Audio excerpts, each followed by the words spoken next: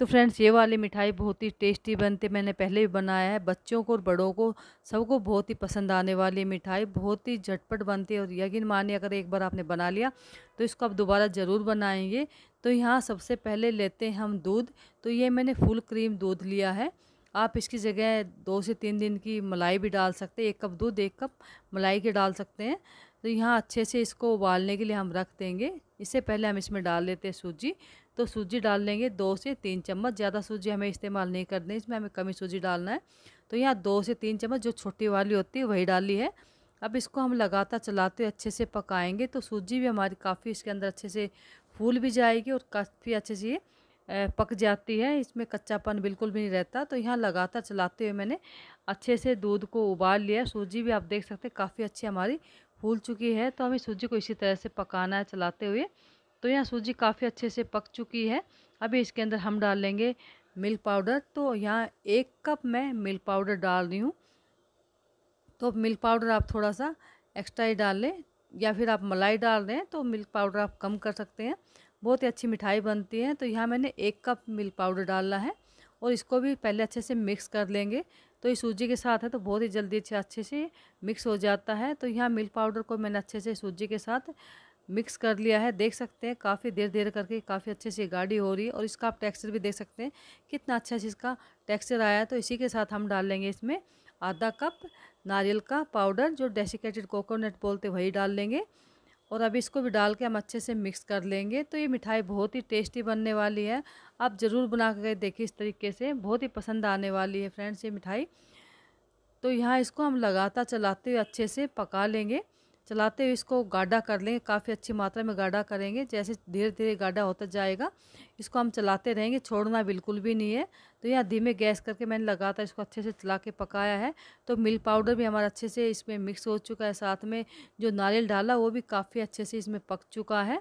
तो सभी चीज़ें बहुत ही अच्छे से पक चुकी है। इसी के साथ हम डालेंगे इसमें घी। तो घी से इसमें चिकनाहट आती है, साथ में जो भी हमारे तले पे लगता है तो हल्का सा लगेगा नहीं। हम इसमें दो चम्मच देसी घी का यूज़ किया है और घी डालकर एक बार अच्छे से इसको मिक्स कर लेंगे। और घी डालते ये बहुत ही अच्छे से इस पैन को छोड़ देता है, बिल्कुल ये मिठाई अलग से हो जाती है। तो देख सकते हैं, जैसे हमने घी डाला, इसे बिल्कुल अच्छे से पैन को छोड़ दिया है और इसको अभी लगातार चलाते हैं इसको बिल्कुल ही अलग कर लेंगे। तो यहाँ देख सकते हैं, पैन को इसने बिल्कुल अच्छे छोड़ दिया और जो भी चारों तरफ़ से इसका मसाला लगा था, उसको भी हमने अच्छे से पोछ लिया है। तो यहाँ अभी हम डालेंगे इसके अंदर मीठा। तो मीठे फ्रेंड्स, मैं डाल रही गुड़। तो यहाँ मैं एक कप गुड़ डाल रही हूँ तो मैं थोड़ा मीठा इसके अंदर कम ही डाल रही हूँ। आप मैं सजेस्ट करूँगी आपको कि आप डेढ़ कप मीठा इसके अंदर ज़रूर डाल लें, क्योंकि गुड़ थोड़ा सा कम मीठा होता है। तो आप गुड़ की मात्रा इसमें ज़्यादा रखें, मीठा की मात्रा आप ज़्यादा रखें तो आप डेढ़ कप मिठाई इसके अंदर ज़रूर डालें, तभी इसी मिठाई का टेस्ट बहुत ही अच्छा आएगा। और बहुत ही टेस्टी मिठाई बनती है। आप इस तरह से गुड़ के साथ ही मिठाई बनाते हैं तो बहुत ही अलग टेस्ट आएगा। मैंने पहले बनाई थी मिठाई, बहुत ही टेस्टी लगी थी। सभी ने इसकी बहुत ही तारीफ़ करी थी, बहुत ही अच्छी मिठाई बनकर तैयार होती है।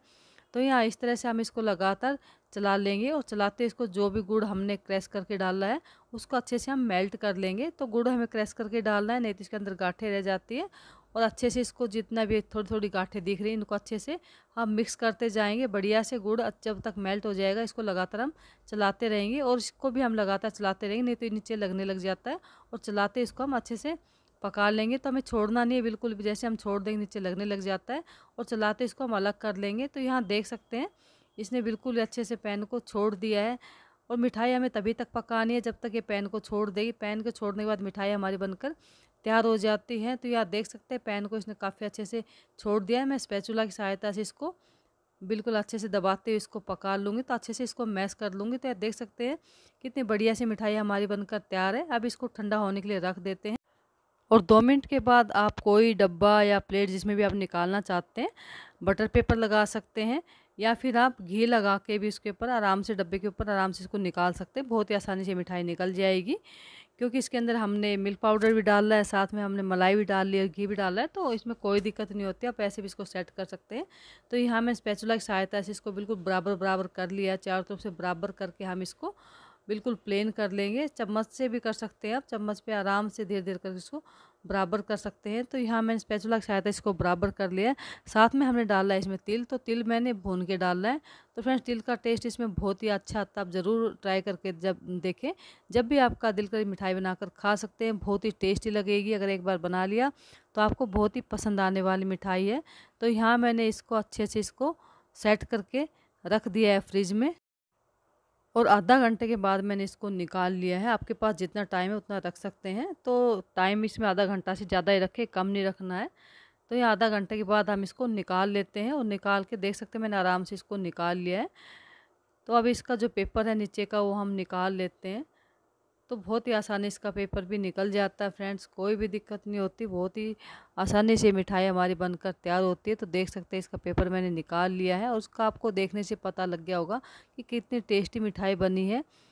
तो यहाँ अब इसको हम कट कर लेते तो आप मनचाहे शेप में इसको कट कर लेते तो यहाँ मैंने इसको लंबे लंबे पीस में कट किया है। पहले सोचा चौकोर काटूँगी बर्फ़ी की शेप, लेकिन नहीं, मैंने सोचा इसको लंबा ही काट देती हूँ। तो यहाँ मैंने इस तरह से इसको लंबे लंबे पीस में इसको कट कर लिया है। और आप इस मिठाई को फ्रेंड्स एक बार मेरे कहने से ज़रूर बना कर देखिए, आपको बहुत ज़्यादा पसंद आने वाली ये मिठाई। इसमें तिल डाला है, साथ में हमने डाल दिया ऊपर से जी पिस्ता तो उससे तिल से इसका टेस्ट बहुत ही अच्छा आता है। तो यहाँ जो एक्स्ट्रा हिस्सा था उसको मैंने कट कर लिया है और बीच में से मैंने एक कट लगा लिया है। तो ये हमारे लंबे लंबे पीस बनकर तैयार है फ्रेंड्स।